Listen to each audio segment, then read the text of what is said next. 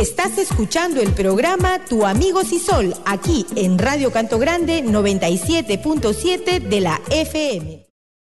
Muy buenos días, vecinos. Y vecinas de Lima Este, un especial saludo a los oyentes de San Juan del Urigancho, El Agustino, Santa Anita, Atevitarte, La Molina, La Victoria y El Cercado de Lima.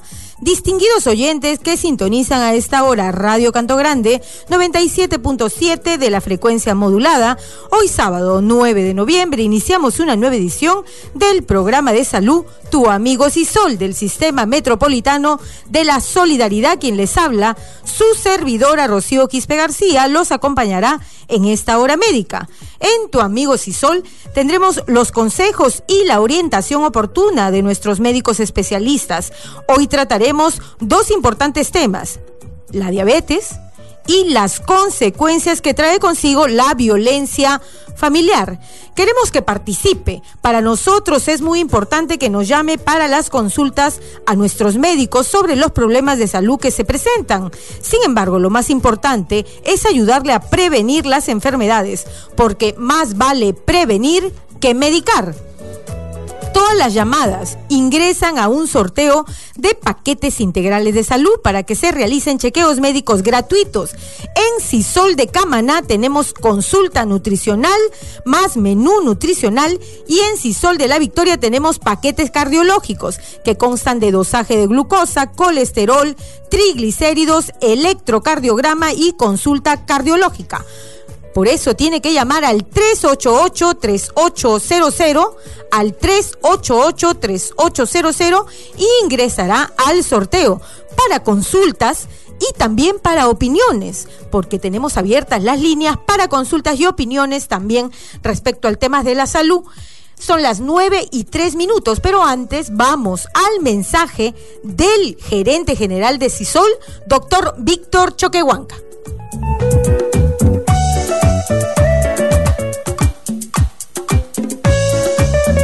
Estimados amigos, muy buenos días. La semana pasada reflexionamos sobre la importancia de la higiene en la preparación de los alimentos y sobre las consecuencias del uso de aguas contaminadas que aumentan el riesgo de contraer enfermedades diarreicas agudas. Coincidentemente, hace unos días diversos medios alertaron sobre la detección de brotes de cólera que han comenzado en Haití luego del terremoto del 2010, pero se ha extendido a la República Dominicana, afectando también a Cuba, México y acaban de reportar casos en Brasil y Chile, lo que ha llevado a las autoridades continentales de salud a tomar medidas para evitar su expansión. Ante esta situación, desde el CISOL consultamos a la Organización Panamericana de la Salud, OPS, y también al Ministerio de Salud, quienes nos manifestaron que por el momento no existía peligro de un brote de cólera en el Perú. Para prevenir el contagio, debemos evitar que los alimentos cocinados entren en contacto con los alimentos crudos o con agua o con el hielo lógicamente expuestas a que se contaminen con moscas u otras superficies contaminadas, cubiertos sucios u otro artefacto. Hay que evitar ingesta de frutas y verduras crudas que no estén perfectamente limpias y sometidas a un tratamiento previo. No descuidar las medidas habituales de higiene como lavarse las manos antes de tocar cualquier alimento y después de ir al baño. Hervir el agua antes de su consumo o desinfectarla vertiendo tres gotas de cloro o lejía en un litro de agua media hora antes de beberla. Muchísimas gracias y hasta la próxima semana. Agradecemos los consejos que nos da el doctor Víctor Choquehuanca sobre el peligro de brote de cólera, ya que se acerca el periodo de verano. Y cierto, hay que lavar las verduras, las frutas y hay que echarle eh, cloro al agua si está juntada. En esta oportunidad tenemos a la doctora Gina Bazán, ella es psicóloga, presidenta de la Asociación Adina del Perú. Ella nos va a hablar sobre el tema de la diabetes. Recordemos que el próximo jueves 14 se conmemora el Día de la Lucha contra la Diabetes.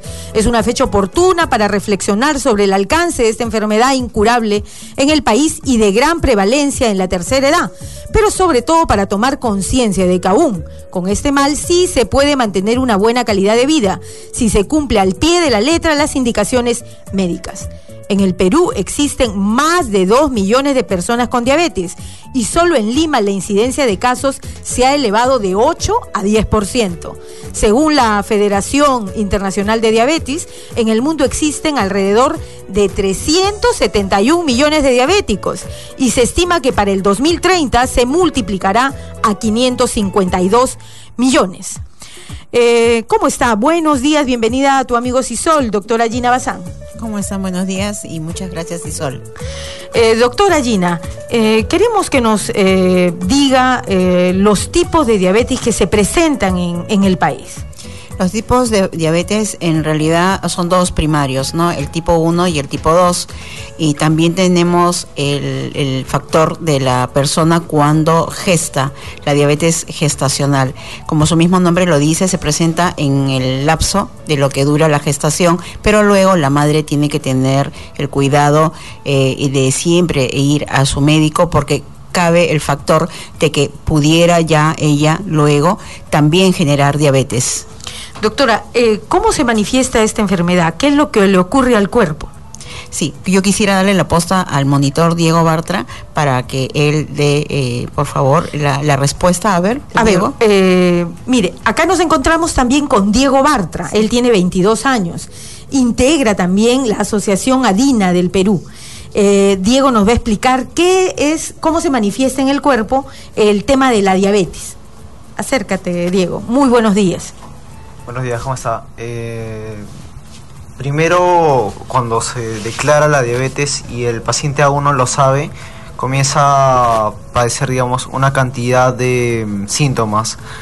¿Cuáles son que esos Es como síntomas? el cuerpo ya no contiene, ya no genera insulina, el cuerpo para, digamos, obtener energía usa las reservas que están en, el, en los músculos, en la grasa y por último en el hígado.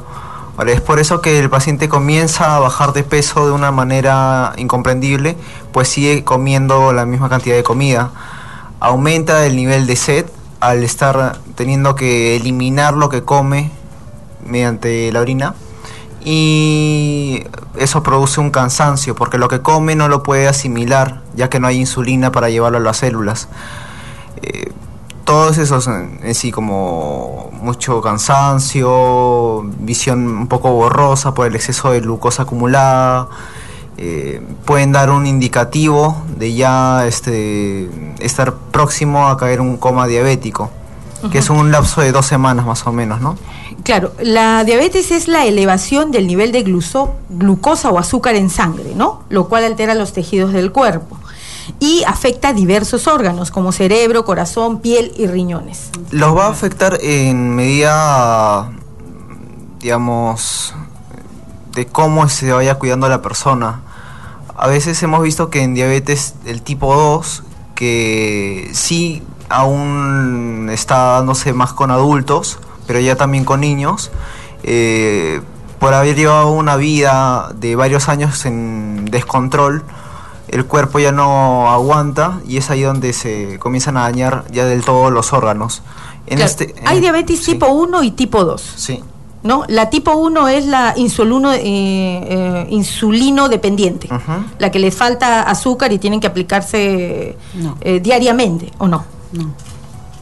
Lo que ocurre es que, primero, la tipo 2, la más conocida, eh, comienza con un régimen de dieta más pastilla si es que se necesita. Ahora, la persona al no cuidarse no le va a bastar con la pastilla y va a tener que comenzar a usar insulina. Uh -huh. O sea, van a ser tres cosas. ¿Y ahí la tipo 1? La tipo 1, al no tener nada de insulina en el cuerpo, de frente va a tener que entrar con insulina. Esa es la más grave. No es la más grave, es este otro tipo de, de forma de llevar la, la diabetes, digamos. Tú eres un joven que ha vivido con diabetes. Vive. Vive con diabetes. Sí, claro. ¿Desde qué edad? Desde los 10 años. ¿Y cómo se te manifestó la enfermedad? Eh, digamos, se, mm, fue en un verano en el que todos aducían cualquier cosa menos diabetes. Es uno de los principales problemas en nuestro país, que no hay idea de alerta en cuestión diabetes. Si uno presenta los síntomas que mencioné al inicio, es muy poco probable que alguien que no esté informado le atine. Claro, ¿y cómo se te manifestó, por ejemplo, a los a 10 años? ¿Tú vivías una vida normal? ¿Te alimentabas de una eh, forma normal? ¿Cómo se te mi, presenta? mi vida, digamos, como un niño, era una vida normal, Normal, de niño. ya. Ahora, mi alimentación no era la, La adecuada. adecuada, eh, lo que hace que se desencadene la diabetes que yo ya la tenía. Ya. Ahora, eh, ¿Tú tienes antecedentes? ¿Tienes abuelos, eh, primos? No, tienes antecedentes. Nadie. Esa es una diferencia. Por ejemplo, en diabetes tipo 2 es un gran pre, Predisposición, Sí, claro. Que si tienes algún familiar, tú puedas presentar diabetes tipo 2 igual. En tipo 1 es como, digamos, uno de mil y, y simplemente está en ti. Ahora, el mal control alimenticio va a hacer que se desencadene más rápido. ¿Cómo o te más lento. alimentabas? ¿Cómo te alimentabas antes de... Bueno, este, digamos, eh, ¿Qué comías? El problema era... Muchas frituras, no comías fruta, no tomabas agua. No, yo creo que más que todo es la comida en gran cantidad de carbohidratos. O sea... Pan, arroz. Varios panes, varios arroces, mucha grasa, todo eso... eh, digamos, lo que contiene carbohidrato va a generar glucosa. Y lo que contiene grasa va a, le- va a hacer que sea más lento el proceso de digestión de esa misma glucosa. Entonces, todo el día uno va a estar con un exceso de energía en el cuerpo que va a exigir a los órganos, en este Claro. caso al páncreas, de generar más y más insulina. Llega un momento en el que el páncreas ya no puede generar más insulina Claro. porque yo desde que nací, digamos, ya tenía lo de la diabetes. Entonces, Ya. simplemente se iba a desencadenar en un momento. Y a partir de a partir de que te diagnostican la diabetes a los 10 años, ¿cómo ha cambiado tu alimentación? La alimentación, eh, aunque no se crea, trata de ser lo más cercano a algo tradicional. De todas formas, yo puedo comer un plato típico o puedo comer un plato, digamos, como arroz chaufa, algo así por decir. Ya. Pero cuidando porciones, por ejemplo, ¿no? Eh, usando horarios alimenticios, que es lo que, bueno, cualquier persona debería hacer, ¿no? Claro, y, pero incluiste en tu dieta, ¿qué más incluiste en tu dieta? Aparte, dejaste las grasas, dejaste las frituras. Es recomendable siempre, bueno, dejar de lado lo que es frituras, este, eh, gaseosas, Gaseosas, eh, y, e incluir, pues, verduras, frutas, ¿no? claro, incluiste. ¿Y también tomas alguna medicación? Eh, yo utilizo, este, lo que es insulina. ¿Todos los días Sí. tienes que aplicarte, inyectarte? O Sí, bueno, ahí hay un punto alterno que sería el de, yo ahorita estoy usando lo que se conoce como bomba de insulina, Ya. que es un sistema que va bombeando mediante un catéter.